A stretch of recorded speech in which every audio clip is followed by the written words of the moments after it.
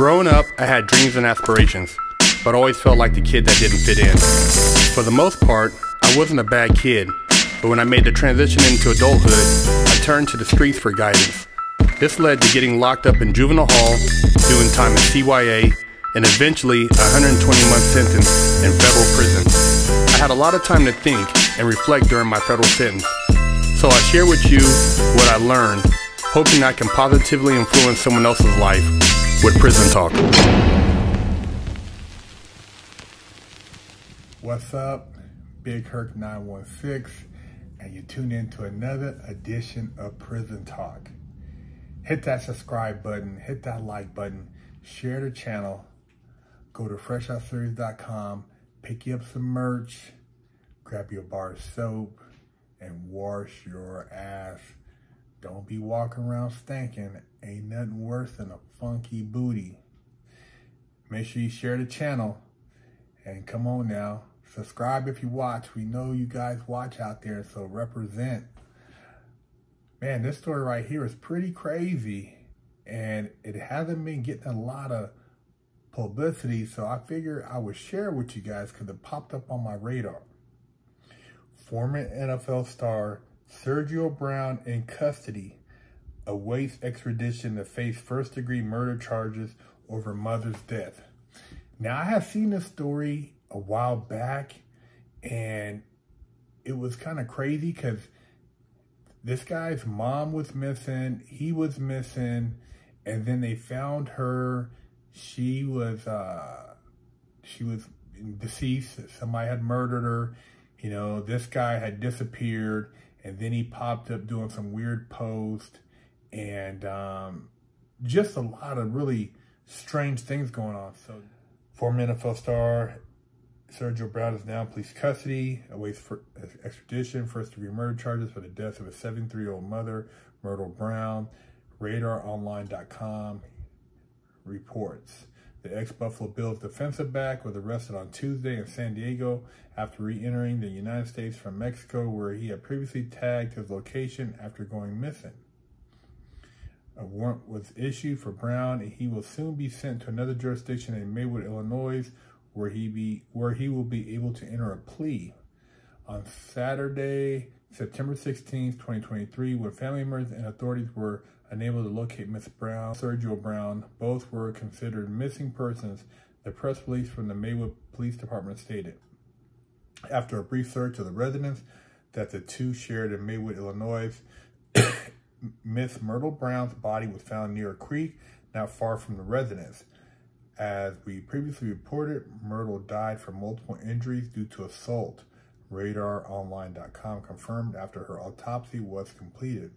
The Cook County Medical Examiner's Office told us that Myrtle's manner of death was listed as a homicide. Amid the investigation, a local resident claimed he last saw Browns in person on September 14th, helping out police by providing video footage from his ring doorbell camera. Sheila Simmons, Myrtle's sister, told Chicago news outlet WGN 9 that she had last spoken with her sibling the same day.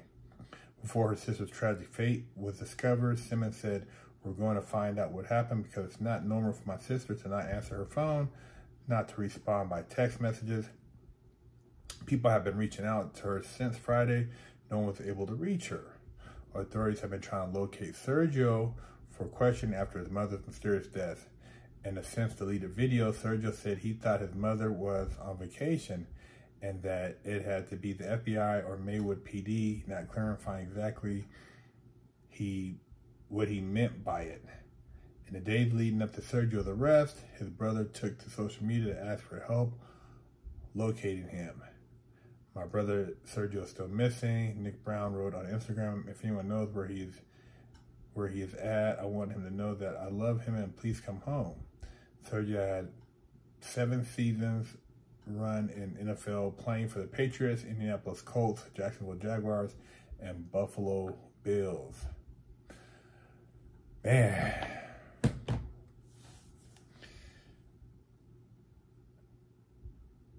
It makes you wonder, man, like what go through somebody's mind to want to allegedly hurt their mother to the point of death. And he's being charged with first degree murder. Um, obviously, they have some evidence. He's not convicted yet, but still, man, just horrible, man, horrible. And, uh, you know, being a professional athlete doesn't really give you any special privileges when it comes to situations like this. If you are um, accused of something and you have to you have to face your charges. So uh, yeah, just a, a weird story. This guy disappears, goes down to Mexico, and I guess he was hanging out down there, then crosses back over the border, and they catch him where he crosses. And um, I had seen where he had did a video when he was down there, and uh, I guess he figured, you know, he was going to chill by the border because, uh, you know, he could do his thing. But um, we'll see what happens. I'll, I'll, keep you guys updated on this case. I'll try to, uh, you know, watch what happens as it develops. But um, just want to share that with you. Former NFL player, man, um, involved with possibly the murder of his mother, Sergio Brown. Big Herc 916, fresh out. Officially, I only got one real spanking my entire life. My mom did the best a 14 year old could do, raising me with love and instilling values that will last a lifetime. I was a straight A student and lived to make her happy. So, how did I go astray? A horrible stepdad that stole my self worth and invoked fear turned me into a person that I struggled to overcome. From skateboarding to selling drugs, gang banging in juvenile hall, I got caught the same way many young promising men get caught up. I struggled to find my identity, getting mixed up in shootouts, crime, and the adult entertainment industry. This roller coaster continued as I juggled college, hustling, and Hollywood, eventually catching a federal bank robbery case. I found redemption in prison while serving a 120 month federal sentence and came out a man on a mission.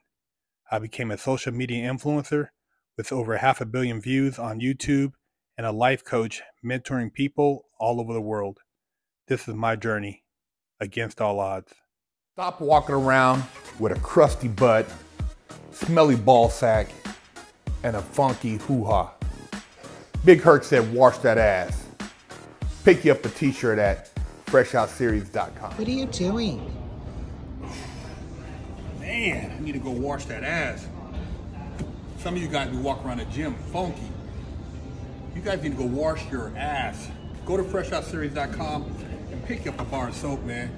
You can't be walking around the gym funky. Make sure you go wash them nuts.